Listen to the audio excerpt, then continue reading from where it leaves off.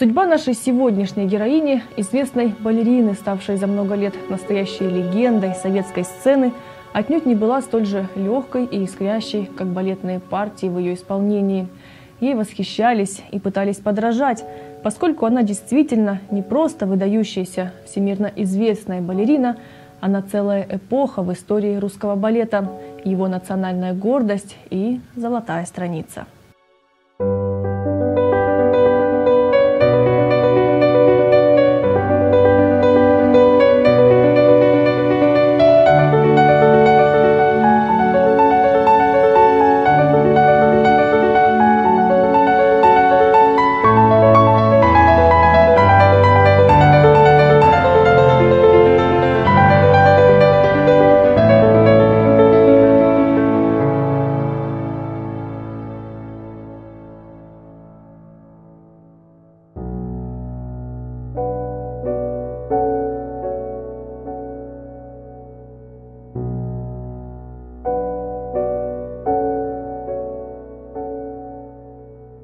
Она не любила излишнего внимания к собственной персоне и комплименты, не давала интервью и почти не имела близких друзей. Слишком закрытая в личной жизни эта хрупкая женщина была полной противоположностью на сцене, где отдавала всю себя без остатка зрительному залу.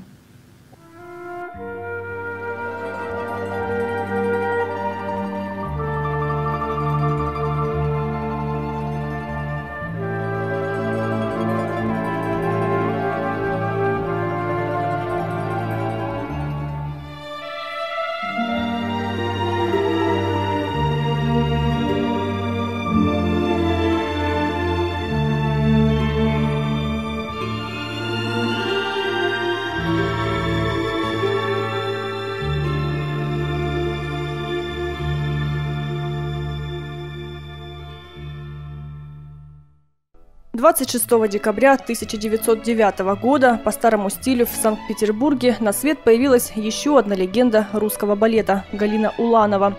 В семье, где хореографические традиции были фамильными.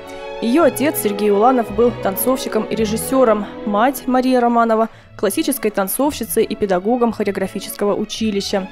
Родившись в подобной семье, наша сегодняшняя героиня с детских лет понимала, как трудна жизнь артиста балета, тем более, что росла она в тяжелые послереволюционные годы. Судьба балерины была предначертана ей с самого рождения. Наверное, именно поэтому ее успехи на сцене были столь грандиозными – когда маленькую Галю родители решили отдать в балетную школу, она рыдала от горя. Все потому, что девочка с детства имела представление о том, какой ценой достаются зрительская любовь и ведущие партии. Не просто поверить, что в детстве она вовсе не стремилась танцевать, но ко всеобщему счастью от судьбы ей уйти не удалось. И в девятилетнем возрасте маленькая Галина начала свой путь на большую сцену – в 1918 году она поступила в Петроградское хореографическое училище, где впоследствии стала заниматься под руководством своей матери. Первые балетные годы в ее памяти навсегда остались связаны с холодными залами, голодными обмороками, потому неудивительно, что балет ей никогда не казался чем-то похожим на сказку. Уланова рассказывала «Нет, я не хотела танцевать, не просто полюбить то, что трудно, а трудно было всегда, это у всех в нашей профессии – то болит нога, то что-то не получается в танце. Обучение в хореографическом училище девушка закончила в 1928 году. Ее выпускной балет получил высокие оценки педагогов и критиков, а потому практически сразу после получения диплома до ужаса стеснительная юная балерина была принята на работу в Мариинский театр оперы и балета. Хрупкая, болезненная, застенчивая балерина, не любящая танцевать. Именно такой она была для всех, кто хоть сколько-нибудь был с ней знаком. Но только не для зрителя, сидящего в зале. Сложно себе представить, что великая, воздушная, неподражаемая и невероятно талантливая Уланова была именно такой. Но что поражает больше всего, это то, с каким трудом, целеустремленностью она преодолевала тяготы нелюбимой профессии на пути к совершенству.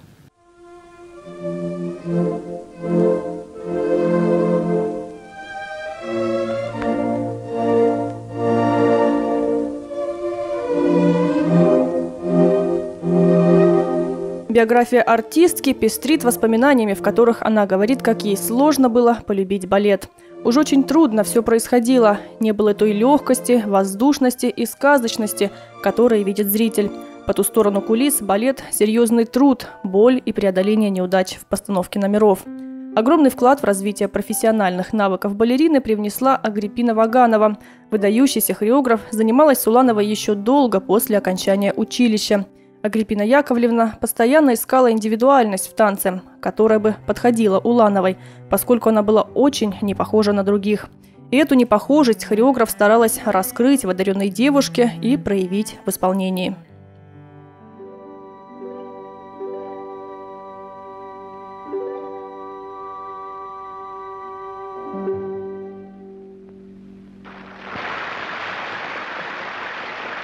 Роль, которая открыла сердце Галины Сергеевны и впустила в него балет, была «Жизель». Уланова долго примерялась к роли, изучала характер, но, проникнувшись историей, исполнила ее потрясающе. Жизель помогла осознать Галине Сергеевне, что одно из главных в ее работе – это умение перевоплощаться. При этом изюминкой Улановой была природная стеснительность и принципиальная естественность. Они ни разу не дали ей надеть маску и дарить показные эмоции и чувства. А когда пришло время, первые зарубежные гастроли заставили заговорить о балерине весь творческий мир. Галину Уланову по праву стали называть второй Анной Павловой.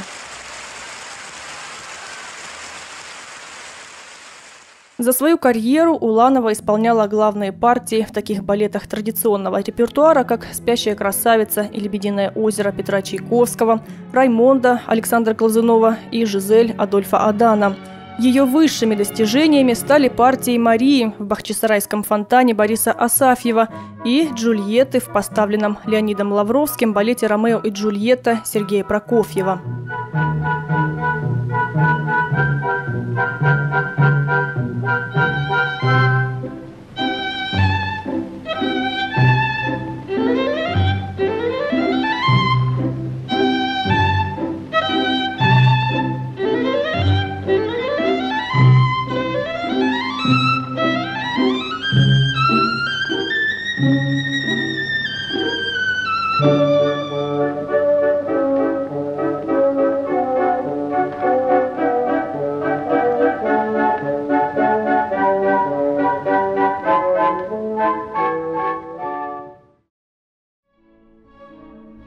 Помимо танца, Галина Уланова стала еще и выдающимся балетмейстером. Все свои знания и секреты она старалась передать своим ученикам. С 1960 по 1997 год Уланова работала балетмейстером-репетитором Большого театра, но также работала и с солистами Парижской Гранд-опера, Гамбургского балета, Шведского королевского балета, Австралийского балета и артистами балетных труп Японии. Она ушла из жизни на 89-м году жизни 21 марта 1998 года. За год до смерти балерина уничтожила дневники, которые вела всю жизнь. Ей не хотелось становиться объектом чьих-то пересудов. Парадокс для современного шоу-мира, но, может, и поэтому ее трудно вот так раз и стереть из памяти и из истории. Она покорила сердца зрителей своей Жизелью, таинственной, словно парящей в воздухе легкой тенью, вместе с тем наполненной огромной духовной силой. Она заставила всей душой сопереживать Марии из балета «Бахчисарайский фонтан», передав тончайшими пластическими штрихами всю ее судьбу – пленение, тоску неволи и внезапную смерть. Она заставила многих поверить в то, что можно танцевать Бальзака, Пушкина и Шекспира.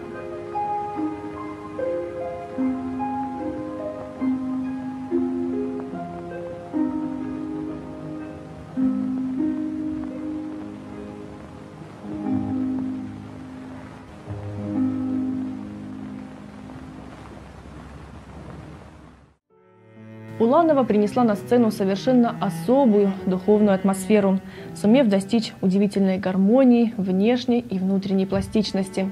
Народная артистка СССР, дважды герой социалистического труда, лауреат Ленинской премии, Галина Уланова снискала на своем пути все возможные почести, стала живой легендой, но в жизни навсегда осталась такой же робкой и застенчивой девочкой, какой вступила когда-то впервые на театральные подмостки.